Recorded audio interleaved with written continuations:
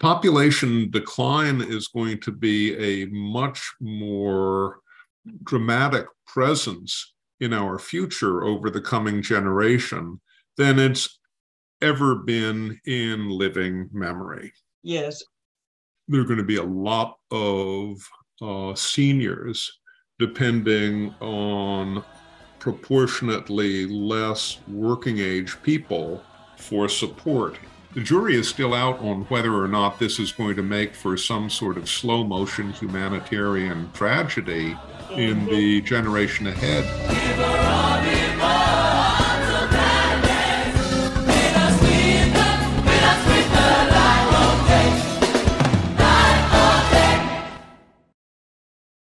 Hi, everyone. I'm Dr. Jennifer Roback Morse, founder and president of the Ruth Institute.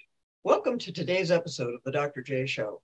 My guest today is Dr. Nicholas Eberstadt of the American Enterprise Institute, and he and I are going to talk about something that may surprise you we're going to talk about the problems of underpopulation or population decline. Dr. Eberstadt, great to have you on the Dr. J Show. Please call me Nick, and it's wonderful to see you, Dr. J. Okay, Nick. and we go back a long time, one way or the other. So um, yes, indeed. But, but but we had our chit chat about our families offline, so we don't need to do that on the on the recording. so, but you know, part of the reason I thought of inviting you, Nick, is that we're doing part of a series on what we sometimes call demographic winter, which is the problems of population decline or population slowing. Everybody's so freaked out over overpopulation. Um, I, I, I would like you, if you could, to tell us a little bit about some of the problems associated with population slowing or decline. What are some of the issues that you see along those lines?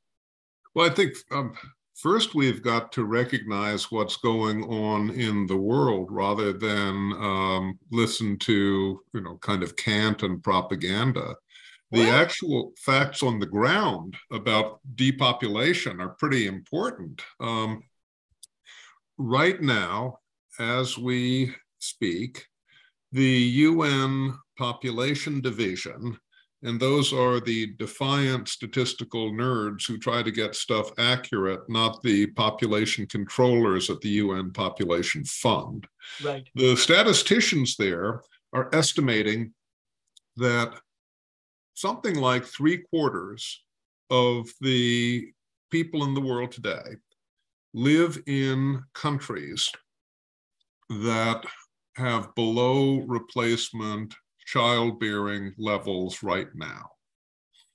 And that is to say, uh, if those trends continue, um, three quarters of the world uh, is right now on a course towards eventual population decline. As right. you know, demographers aren't that great at making demographic forecasts over the long term, but uh, but this is pretty meaningful because uh, two generations ago, only about um, only about a sixth of the world's population in some rich countries lived in countries that were heading towards population decline.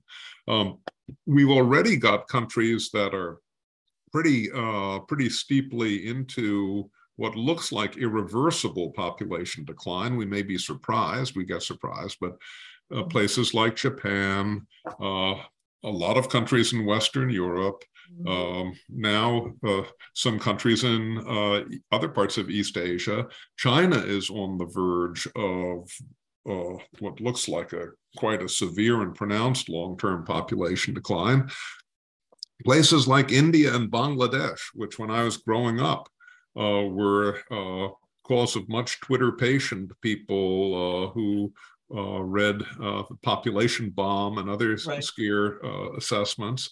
They're now already below replacement. They're, their their total numbers of rising children are starting to decline. So you know what's going to be coming down the down the edge. So population decline is going to be a much more uh, dramatic presence in our future over the coming generation than it's ever been in living memory. Yes, and just to clarify for some of our listeners for whom this may be a new concept, um, when you say uh, replacement rate, what do you mean by replacement fertility? Uh, replacement rate. It, uh, I think it's, I think it's intended to be kind of self-explanatory. Mm-hmm. The idea is that each generation that's rising uh, is either going to equal, exceed, or fall short of the headcount in the generation before it. So if you are at uh, replacement, that means more or less that for every woman in the childbearing uh, contingents uh, generation today, there'll be 1.0 woman who rises into that in the coming generation. If you've got two young women for every woman of childbearing age you know, coming up in the pyramid, then it's uh, twice the replacement level. If you've only got 0.5, you're at half the replacement level. And unless you've got a whole lot of immigration or something else going on there, uh, right. you're on a path for shrinkage. Right. And you obviously can't have worldwide immigration people are coming from someplace. Uh, barring, right? uh, barring you know, either time travel or interplanetary, it's rather difficult. Right, that's that's right. And one thing demographers do know is is we know today um, with perfect certainty how many 40 year olds, well, not with perfect certainty, but we do have an upper limit on how many 30 year olds there will be 30 years from today right? Exactly. Because there are only so many new babies right now, right? Exactly. So we, we, we kind of know how that goes. So so the, the number that one often hears is 2.1 babies per woman over the lifetime. Um, and that's to make up for to, herself and her husband. Exactly.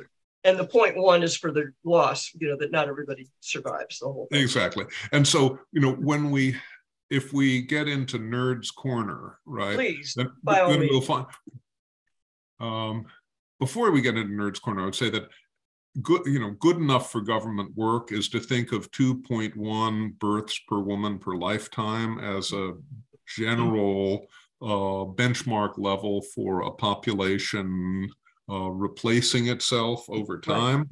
Um, you, you know you get kind of like uh, assistant professor points for uh, higher or lower survival trajectories and whether the society has like uh, done something terrible with its uh, gender imbalance the way that China has done. Yes. But I think we not for today. When right, 2.1 right. is what 2. we, 1. we're right, going to stick with that. And so and so when we when we're looking at countries that have a total fertility rate of you know 1.3 or something like that or even less than 1 you're looking at eventual population decline. So why is popu- why Nick, why is world population still growing if all of these places have less than replacement fertility? How does that work? It's, well, it's works. because it's because there's what you might call a bunch of momentum in the system. You've right. got uh, when I was being taught this stuff back in the Stone Age, uh, they used to refer to something called a population pyramid. Mm-hmm. And a population pyramid was a population structure, you know, like a picture of the population structure of a country by age and sex. And in those days, you'd talk about it as being like a pyramid because there were usually a whole lot more children in the society than there were people of childbearing age. There were more people of childbearing age than there were older people. Mm-hmm. Um, for the world as a whole, we still have something kind of like a population pyramid. And that means that the rising generations are uh, more numerous than the people who are currently of childbearing age. Mm-hmm. And so that you can think of it as being there's like a bit of momentum that's in the system uh, at the moment. And so even after patterns head into below replacement territory, uh, head counts can increase for a while. Right. Right, and it's because people are living longer. I mean, this is one that of the big factors in the whole difference. in the whole process is that people have quite a long, long lifespan, uh, past in the age range where they're no longer really fertile. They're no longer uh, going to contribute any babies. Makes, the improvement in survival has also clearly increased the headcount and uh, postpones the date at which population decline commences. Correct, correct. And, and I think you're the one I heard this phrase from, Nick, that the reason population is growing, and I'm going to give you full credit for it, but I'm sure you said it. Uh, the reason population continues to grow is that is not because we're breeding like bunnies, it's because we're no longer dropping like flies. Well, I, I mean, I think arithmetically that's um, incontrovertible. Right, if that's you, right. Just add it up. You, that's the way it goes, right? If you do the, you know, if you do the population arithmetic, you find out that um, everything and then some of the world's of the globe's increase in numbers since let's say 1900 doesn't really matter but let's say 1900 is due to declining death rates not increasing birth rates. Birth rates have come down. It's just the That's death right. rates have come down like a whole lot faster. That's right. That's exactly right. So let's talk about some of the problems that are associated with population decline, or rather than talk about decline, just talk about aging populations because that's sure. really what we're that's sure. on average what we're looking at. What are some of the problems that people are are already starting to face and that we in the United States will will soon face? Well, I'll, I'll, I'll you know I will cite a cautionary to begin with. I I was one of those who was way skeptical about the dangers of the so-called population explosion for exactly the reason that you mentioned that mm-hmm. i mean how bad can a health explosion really be you know how you know exactly. you, can, exactly. you may squander the opportunity but how bad it can really be um, there, there are problems that can arise if you're a society that doesn't deal with change very well and population growth is obviously a form of change you know but it's not not what we were hearing about kind of like the locust seeding the last banana or whatever it was.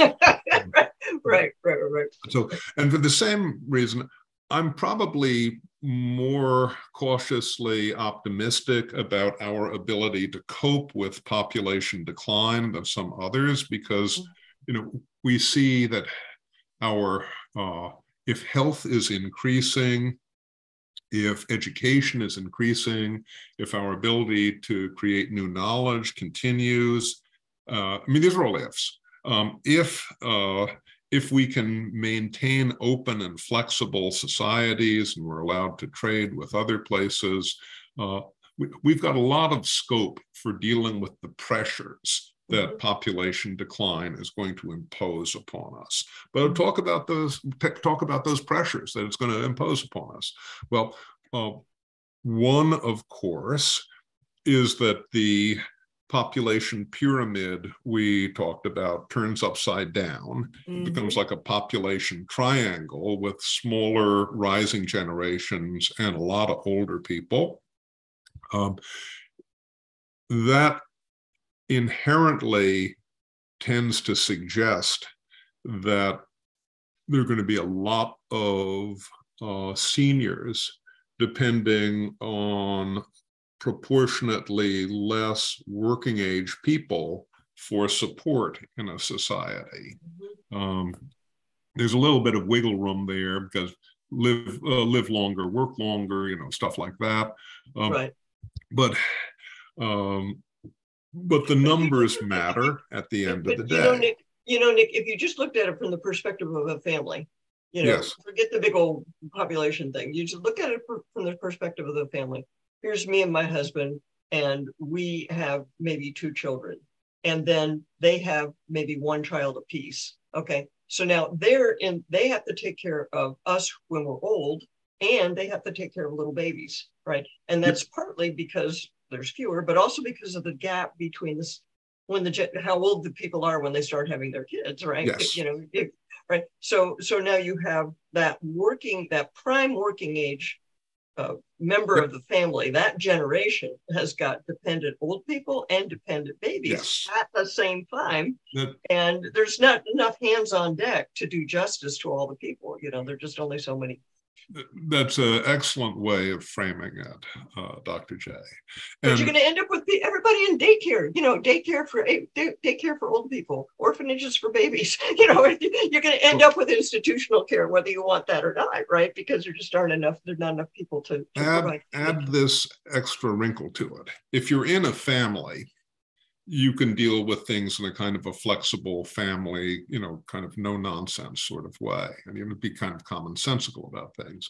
Um, because we're all citizens in our respective uh, countries or states, um, we have to deal with the public structures there as well. Yes. And one of the um, vestigial social welfare structures that people in aging and shrinking societies generally have to deal with are pay as you go social security systems that were set up, you know, as I won't say Ponzi schemes, but they were set up for population pyramids where workers were relatively plentiful and retirees were relatively scarce. When you turn that population pyramid upside down, that the arithmetic gets really unforgiving really fast. Mm-hmm. And you have to reinvent your social uh, safety net or else get into a whole world of trouble. Mm-hmm. And you have the additional complication that in an aging society, you've got a whole lot of older voters who are going to have who will have to vote against their own immediate in, interests to alter and reform and make more flexible the social security systems. Add to that the general thing that we've seen in all affluent societies over the last century and a half that um, uh, more advanced countries, and I'm talking not about morally advanced, I'm talking about uh, productive uh, per capita uh, productivity advances. Um, more advanced societies uh, tend to like to have more government benefits. They tend to have like to have a larger share of output go to social welfare benefits. Well, you know, if you have a situation where you know uh, you're devoting an enormous amount of resources to uh, retirees, you also will have less for investment and less for uh, preparations for growth for the future, perhaps. So there are there are a lot of um, there are a lot of economic um, flags that you have to pay attention to if you think that you can maintain prosperity in a shrinking and aging society. It doesn't happen by itself. Mm-hmm, mm-hmm. You know, I can remember as a beginning PhD student in economics being taught about the Ponzi scheme of Social Security in, in the following sense. And here's the way econ people think about it. You know, there, there's an interest rate. Um, if you invest your money, there's a certain interest rate that you get. Um, if you have a social security system, if the population growth rate is greater than the interest rate, the social security system is a better deal. And in the 30s, when it was established, that was probably true. Yeah. And now it's probably, it's certainly not true, right? Uh, in, in the situation we're in. Tell us about, you know, some years ago, I remember you wrote an article about China and Russia and India, and I think it was called "Growing Old the Hard Way." Oh yeah, um, this was like I don't well. know, like 15 years ago or something yeah, like that. We, they we have. Were both, we were both at Hoover, right? Yeah. Um, and um, and and tell us, what were you concerned about in those countries, and sure. and how have they turned out? How have your predictions turned out? Well, so it, it's a lot easier to deal with any economic problems if you've got more resources, you've got more options, right? Um, so it's and it's always less fun to do things the hard way. And uh, Japan famously has gotten rich before before it got old. It's gotten to be a very gray society. It's the mm-hmm. grayest society on earth at the moment, large society anyhow. Um, mm-hmm. what we could see coming a decade and a half ago was the graying of some countries that weren't up to uh, OECD or Western economy standards of affluence. You know, just because what really drives uh, population aging in terms of arithmetic isn't longevity. I mean, that makes some difference, but it's really the size of the demographic base of the, you know, the fertility level, the new entrance into society, which uh, determines how quickly a society will age. If you have small families, a society will age, uh, you know, will get gray. If you have really small families, it'll gray really fast. Mm-hmm. Uh, so we could tell a, a, decade and a half ago that places like China and places like Russia were on a trajectory for pretty rapid population aging, even though they had uh, income levels that were far lower than those of Western societies. And um, this has been coming to pass despite China's um, you know, quite remarkably rapid economic growth, even in recent years. Um, China is on a much less favorable trajectory with respect to aging and income than Japan was, than mm-hmm. Taiwan was, than South mm-hmm. Korea was. Now, those were all great economic successes. But then, like Brazil or India, um, I mean, creditable, but uh, but not at you know kind of uh, South Korean tempos, uh, torrid tempos. So so China is going to have to deal with this whole question of uh, a population explosion only among its senior citizens and a shrinking uh, working age population and um, and more or less non-existent social welfare structure outside of the urban areas and special you know state-owned enterprise concerns.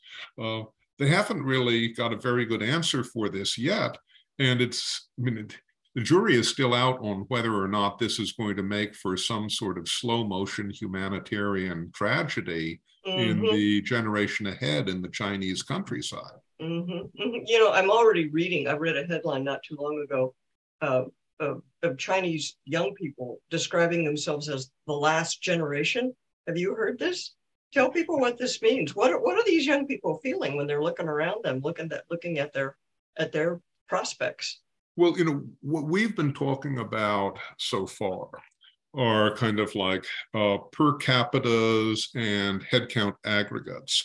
And one of the most interesting and I think um, uh, sobering uh, aspects of population decline has to do with its ramifications within particular families because people live within families, right?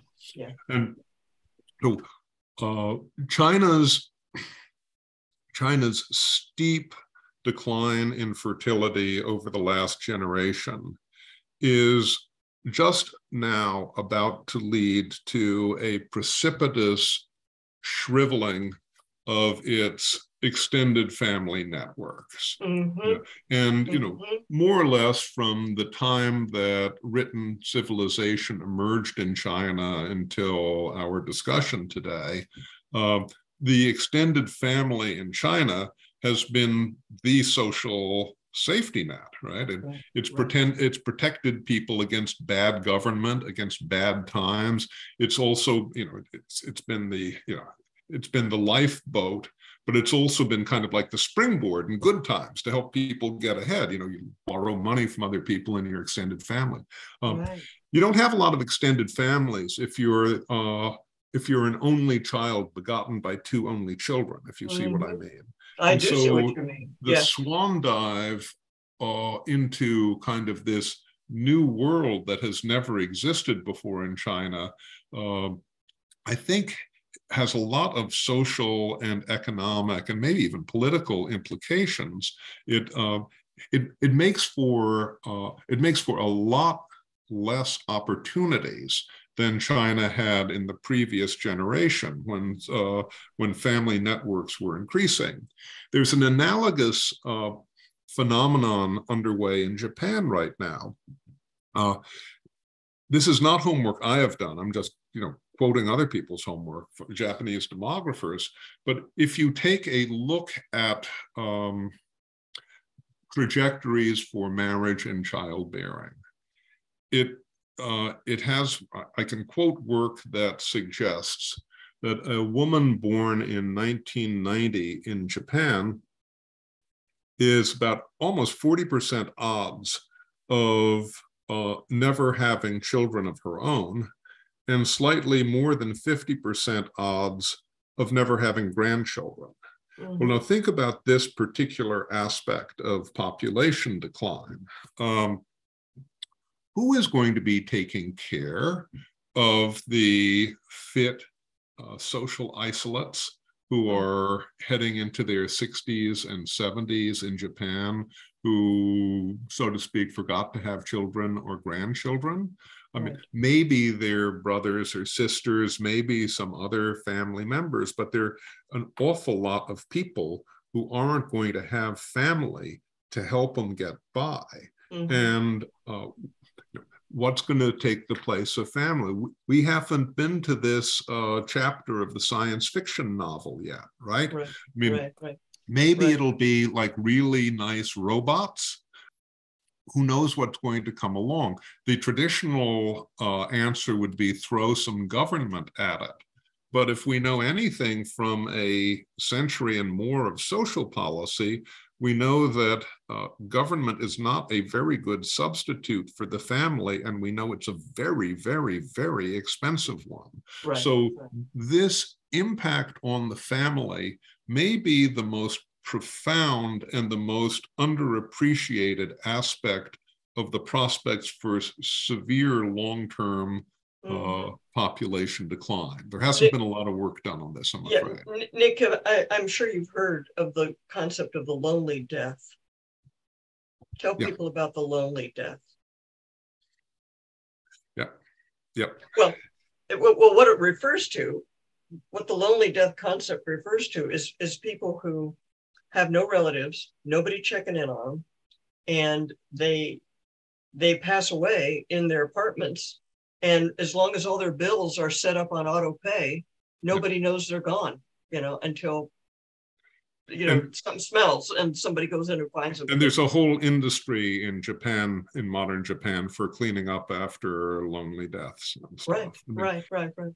And the short term, the, the short term answer of who's going to take care of them is Filipino nurses. Mm-hmm. Right, nurses from the Philippines. But but you know, if the UN population control nut jobs have their way, there won't be any more Filipino ladies either. You know, I mean, yeah. the, the fact yeah. that the Filipino ladies have three babies a piece is like way too much for some of the you know the the true believers in uh, in population. Well, there's, there's there's there's been that um, uh, ideological animus. Um, which is really basically kind of uh, thinly disguised eugenics yeah. Uh, yeah. that's animated so much of the uh, population control movement in my lifetime. Mm-hmm. Uh, people are a little bit too polite to use the term the unfit are breeding, but mm-hmm. You don't have to scratch things too far to right. to get the dance from that yeah to figure out what they're really saying right and and for all these decades that china had its one child policy um, the the feminists in the united states were essentially awol you know the people who talk about people's right to choose and so on and so forth that fact that forced abortions were going on over there uh, yeah. you know aside from a few crazy catholic pro-lifers um, pretty much people were were quiet about it. And, and, and now, it's even worse than that, Dr. J. It's that it was forced abortions of female fetuses. It was right. uh, dispro- if if it yeah. was a I, mean, I did this calculation once, and the numbers are probably a little different today. But uh, you know, back maybe ten years ago, um, if there were a um, if there were a second um, a second birth uh, pregnancy. If there were a, uh, a second pregnancy and that second pregnancy was a girl, it had about 50% odds of being uh, destroyed. Mm-hmm. Uh, so, so it really was a war against baby girls. Yes. And that makes the uh, unseemly silence of the feminists even more unseemly, I think. Yes, yes I agree with you. I agree with you. Um, but but now to see them finally having problem. They're, finally facing the problems of of what they did. You know, that was, I mean, that was a long-standing human rights catastrophe. uh, the one child policy was. And now the problems are coming to, to roost. And the Chinese government's trying to talk people into having more babies, trying to give out more birth permits and so on and so forth. And people aren't having any of it. Um, it's, it's, it's really fascinating. I, I, I, completely agree with you. It's really fascinating, fascinating what's going on because in the dark, in a dark way, Nick. It's fascinating in a dark way. Well, you know? I mean, it's it's horrifying, but it's yeah, also yeah. What the part that I meant as fascinating is oh. this the Chinese government um, never gave up on population control. In 2015, they just said, we're going to raise the quota that we permit you. They still mm-hmm. maintain that this is the right of the government to decide. Correct. Correct. Um, and so, um, but in the the Chinese people did not play nice. Instead, once the quota was raised, the birth totals, if we can believe them, uh, plunged. And over the last six years, more or less, birth totals in China have dropped by a reported 40%. This started before the pandemic, it's continuing into the pandemic. We're also seeing uh, a reported plunge in marriages, a big reported flight from marriages in China. I mean, this looks to me like a major social paroxysm. And I don't know, I don't think that I can tell you yet what it signifies, mm-hmm. but it looks like a big deal. Uh, and you know, you you were uh, you were talking about the uh, lie flat movement and other kind of um, uh, signs of social despair in uh, China today. Mm-hmm. Uh, this may be a sign of something big going on. I guess mm-hmm. we'll have to mm-hmm. stay tuned. Mm-hmm. And do you have a sense of why the births have plummeted since 2015? The uh, That's the question, really. The talking point that one hears is that is about costs of children, that it's too expensive. But I have my doubts about that because that's also what one hears in Europe and in all rich countries. Um, mm-hmm. I mean, if one looks at that a little bit clinically, uh, in let's say in Western Europe, people have more money than ever before. They've got more cars than ever before. They've got more housing than ever before. They've got more vacations than ever before. The only thing that they don't have more of than ever before is children. And so you're telling me it's an expense problem? You know, right. it's right. it's a priorities problem and uh, a preferences problem. Mm-hmm. And so um, my guess is that some of that is coming to roost in China mm-hmm. too, possibly in rural areas as well as in urban areas. Mm-hmm. But uh, that's a conversation and, for another day. And, and and there's a theory out there, isn't there, that this has something to do with declining religiosity. I think your dear wife I, has something to there say. There is a uh, there is a great and learned woman uh, by uh, name of Eberstadt. Uh, uh-huh. I, am Mr. Mary Eberstadt, and the real, real Mary Eberstadt uh, can tell you about that. yes, very again, good. No, no, you know, you you have also written in your role over there at AEI, you've written some things about foreign policy and the implications of population decline and population slowing and aging populations and so on uh, on on foreign policy T- tell us a little bit about that. I mean, you could go on all day, I know, but you know, it, it, tell us kind of one place uh, where you feel like the demographic issue is driving a foreign policy outcome.